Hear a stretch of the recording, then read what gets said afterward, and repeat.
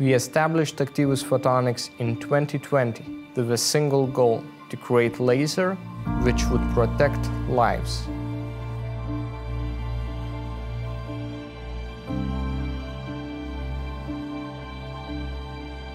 To do that, we needed to overcome the impossible and make our lasers fit platforms which have no space at all.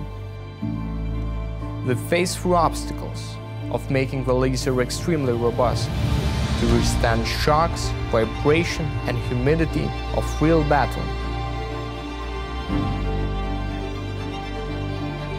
And then we transformed all of that knowledge into simple to use, reliable, and robust laser for any application.